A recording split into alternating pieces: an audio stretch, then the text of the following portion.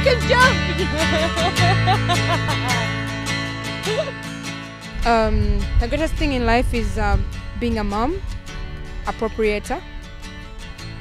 I think those are the greatest things. And of course, my current job.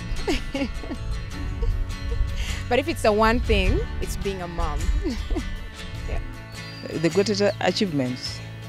For the record, I'm a mom of I'm a mother of three. Yeah. I have achieved so many things.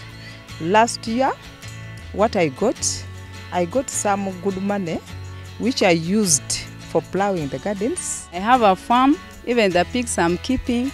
I have my cow, you see, they're nice. I have a poultry. and I planted the maize, rice. With the rice, I got something to do with the 10 sacks, and it made me to be very happy. Whenever I'm with my family, it's the greatest moment because you get so stressed at work, left, right, center. Currently, I'm handling two things at a go. I, I call myself a billboard for two organizations. That's a lot of work. I'm here and there, but whenever I get back home, I forget all about work and wow, that's my greatest moment.